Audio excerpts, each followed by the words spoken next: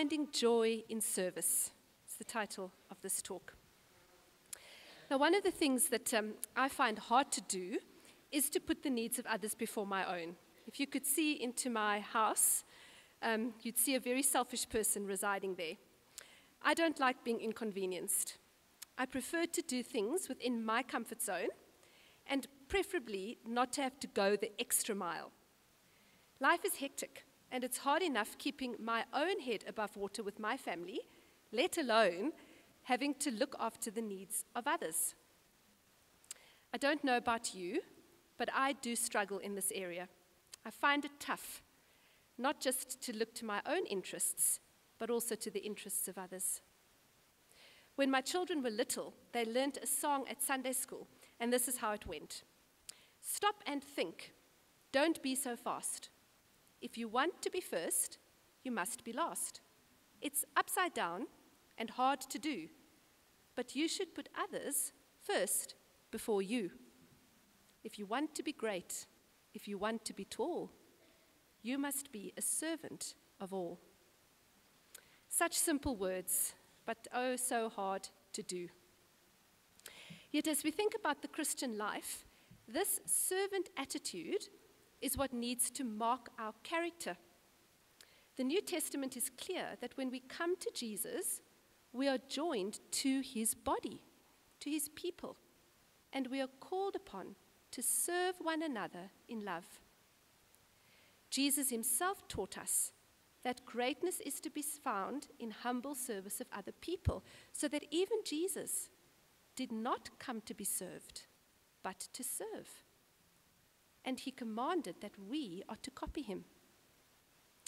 Now, here in Philippians 2, Paul reminds us that our attitude is to be the same as that of Christ Jesus.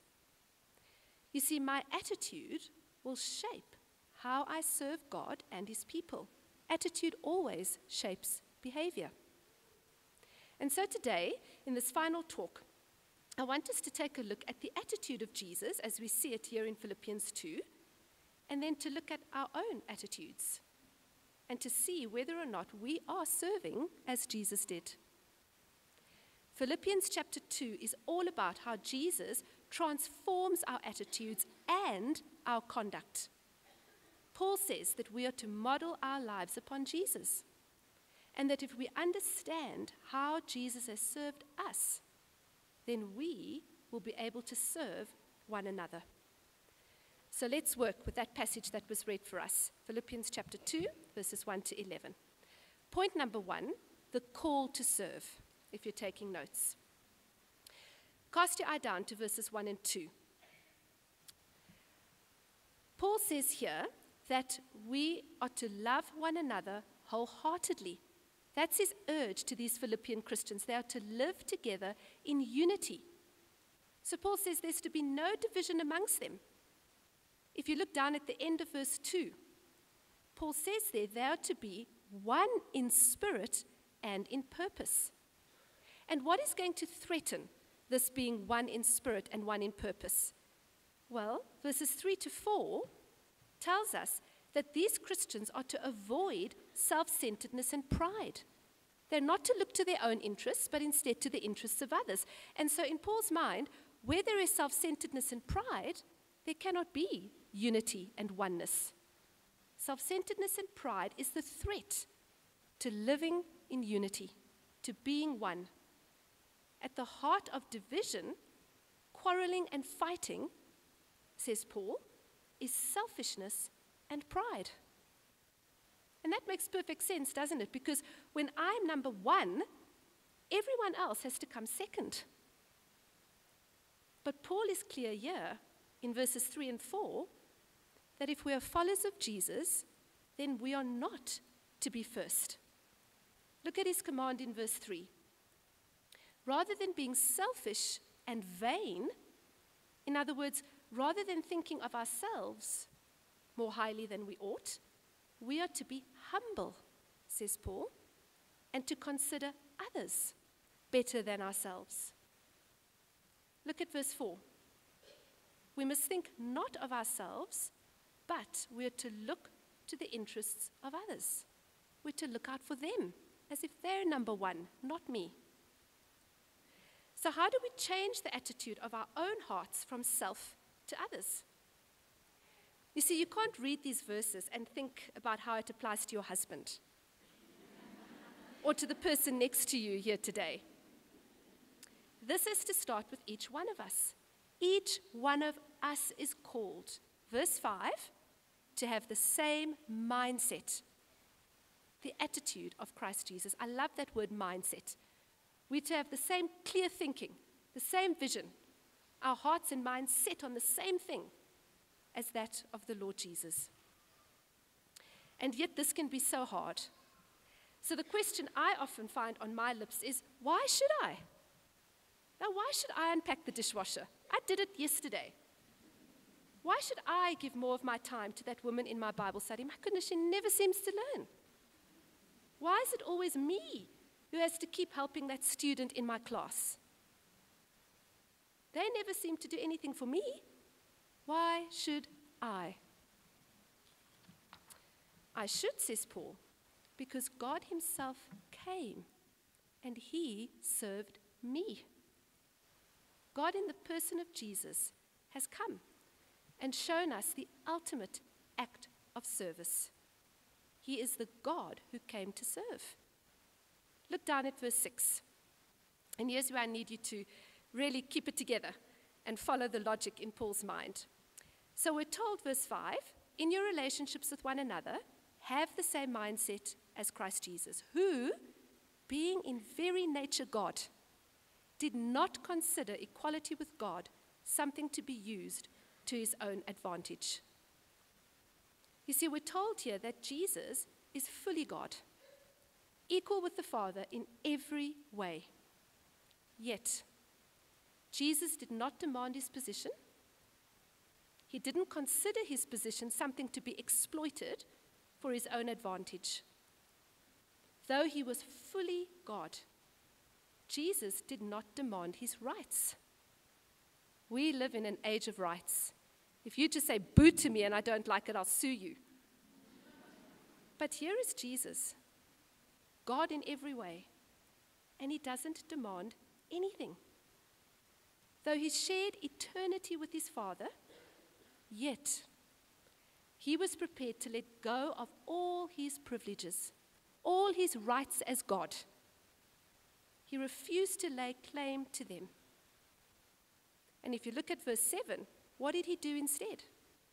He made himself nothing, taking on the very nature of a servant, being made in human likeness.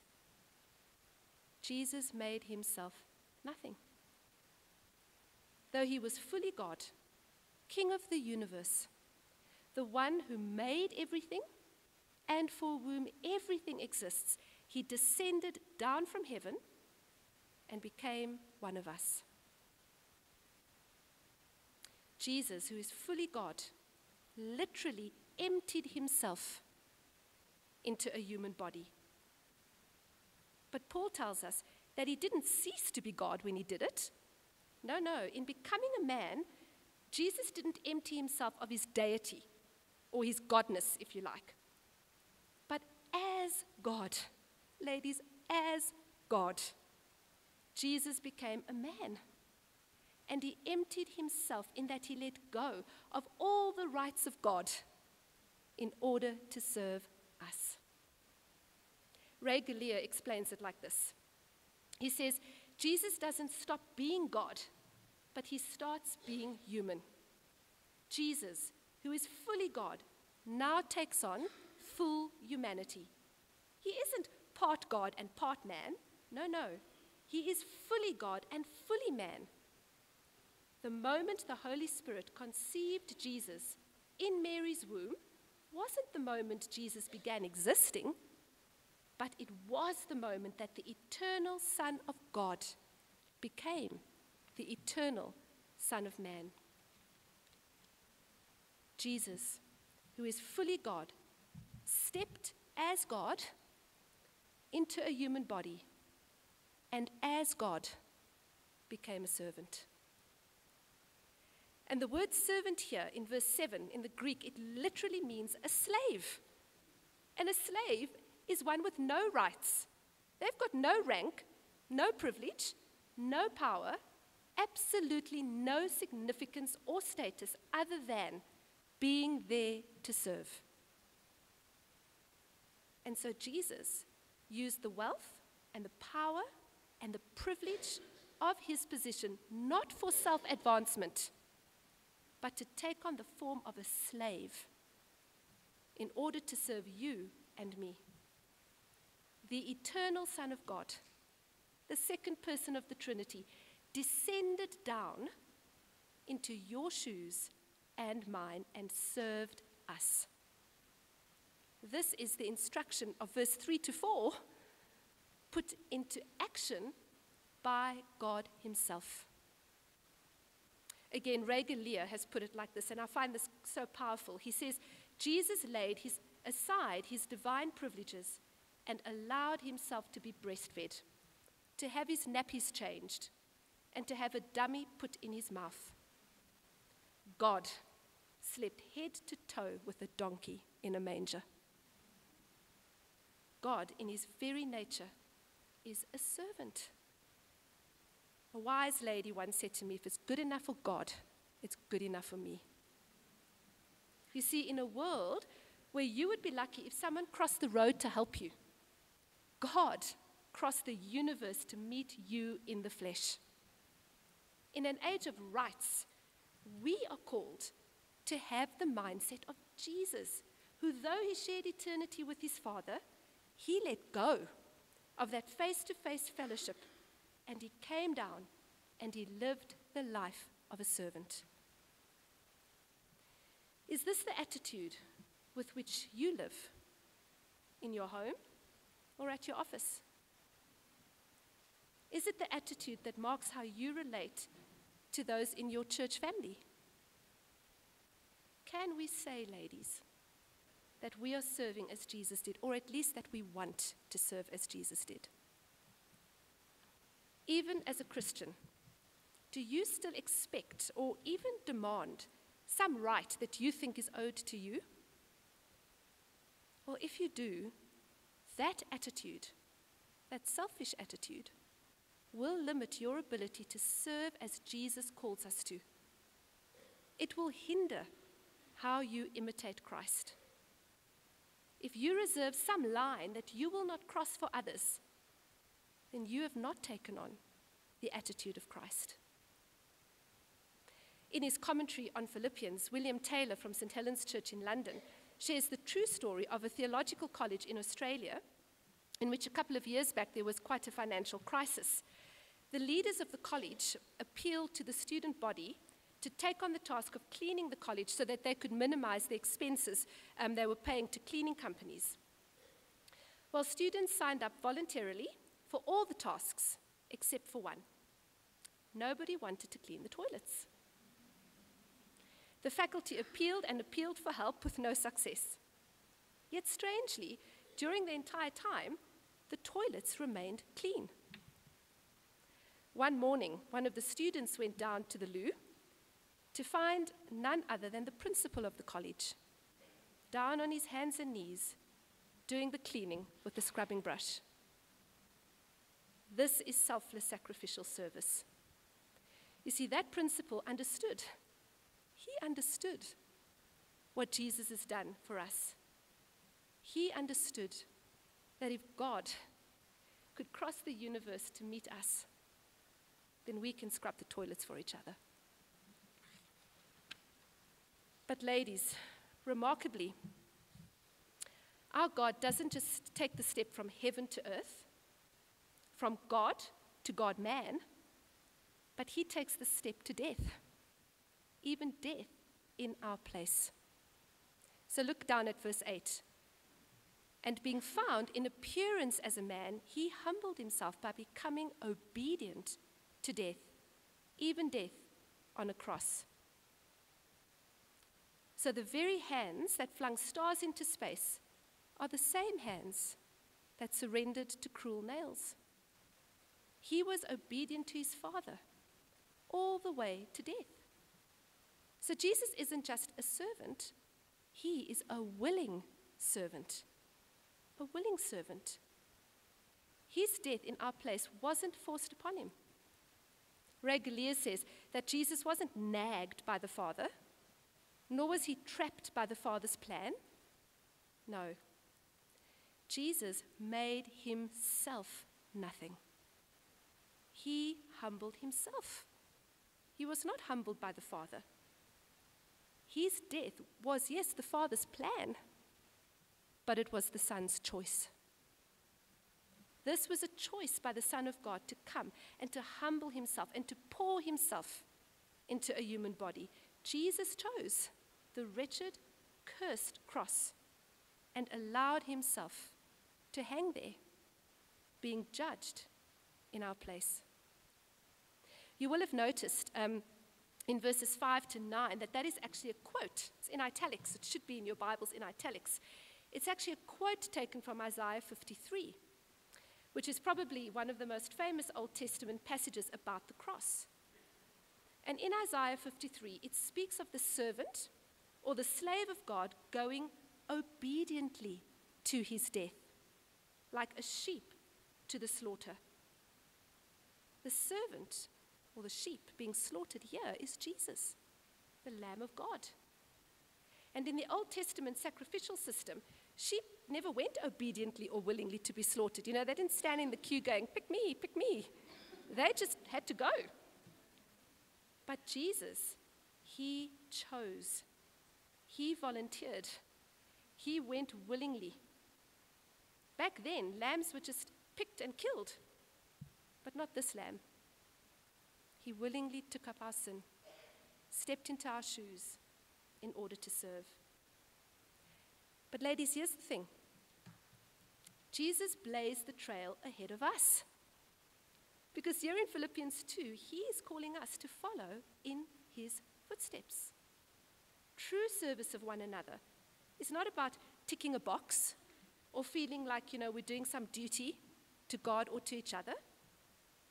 It's about putting our needs last and the needs of others first, deeply, willingly, from the heart, because we are convinced that God did the same for us. So, mommies here today. When you've cleaned up after your family for the tenth time in the day, remember Jesus, the one who crossed the universe for you choosing to care for your family's needs. I'm not talking about encouraging laziness, I mean within reason here. But choosing to care for their needs day in and day out is teaching them something huge about God. When they look at you and see a servant, one who considers their needs before her own, they see Jesus, the God who considered their needs before his own. When your husband is under pressure at work and he cannot be as involved as he'd like to be in the home, the temptation is to feel self righteous because, you know, I'm going it alone. And that resentment starts to creep in. In those moments, remember Jesus, who gave everything up for you willingly and without compromise. Remembering Jesus will enable you to give up that extra time for the sake of your husband. When you choose to take your weekend away, but you come back on Sundays so that you can be here with your church family, you are putting their needs before your own. When you choose not to complain about the things at church that are not to your liking, to show grace to those who annoy you, and to keep helping those who need the extra help, those are ways that you are serving as Christ did. That exhausting person who always needs to talk, and you see them approaching from the other side of the room, and everything in you wants to bolt in the opposite direction. When you give them your time, yet again, that is having the mindset of Jesus. Jesus, who didn't roll his eyes and who didn't go to the cross begrudgingly. When you choose to use your money for the kingdom before you use it for your comfort, ah, then you're selflessly putting the needs of others before your own. You see, having the mindset of Jesus will impact on the way we spend our time, on how we use our holidays, and how we spend our money.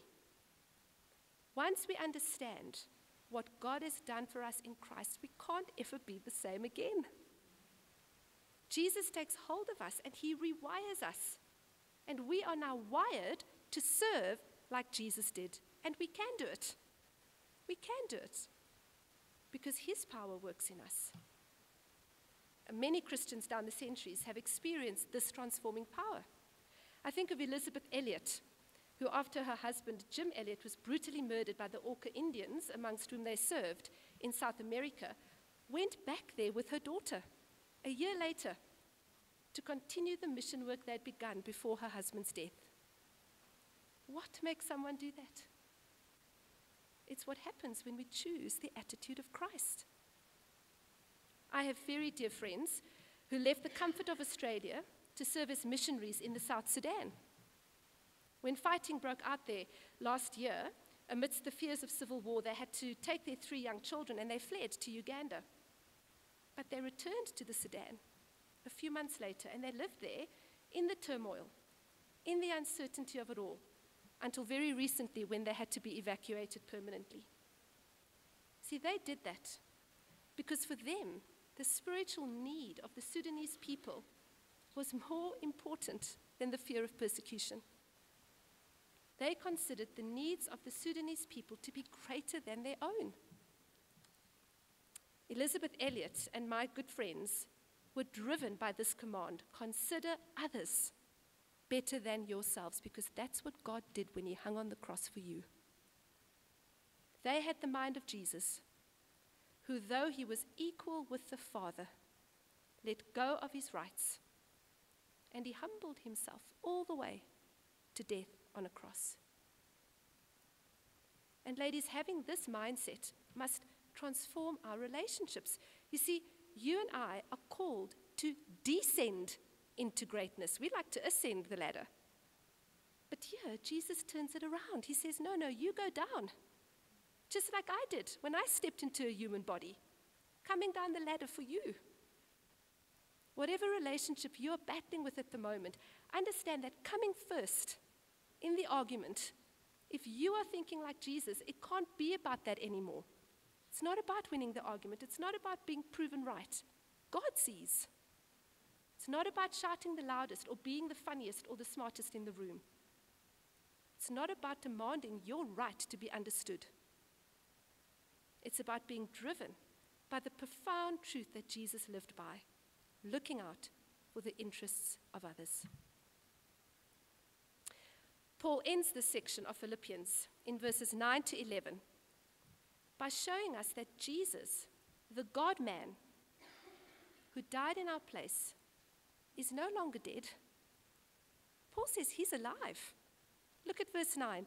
Therefore, God exalted him to the highest place. He descended in order to ascend and gave him the name that is above every name. That at the name of Jesus, every knee should bow in heaven and on earth and under the earth, and every tongue acknowledge that Jesus Christ is Lord, to the glory of God the Father.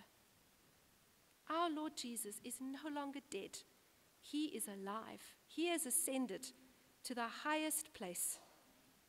As we put on the attitude of Jesus each day, ladies, we are not serving a dead Jew. We are serving the living God. God has given to Jesus an unequaled position. God has given to him an unmatched name. And he has given to Jesus a position of universal rule and authority. He is the king, he is the president, he is the God of this world.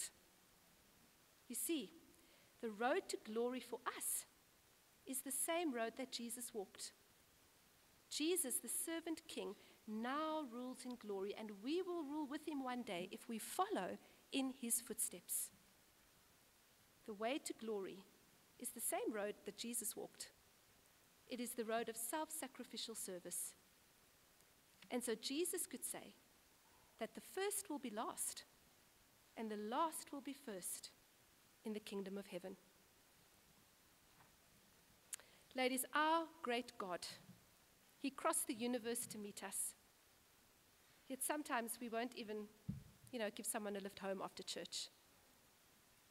Our great God willingly descended from heaven and he stepped into our shoes in order to make us right with him for all eternity. Yet we begrudgingly clean up after our children. But you see, if God willingly gave up heaven to come to pay the price for our sin, then the least we can do is willingly deeply from the heart, give up our time and our rank and our money and our job, whatever it takes, to look out for the interests of others. Uh, William Booth was the founder of the Salvation Army. He once traveled from England to the United States, where he was to be the main speaker at a Salvation Army conference, uh, which was filled with very important delegates who had all come to hear the father of their organization speaking. But William Booth took ill before he could address the conference. I think that's every speaker's worst nightmare. In fact, he was so sick that he couldn't even leave his hotel room. So he was asked to write out his message, and someone would read it on his behalf. And so he wrote out what he wanted to say, and it was only one word others.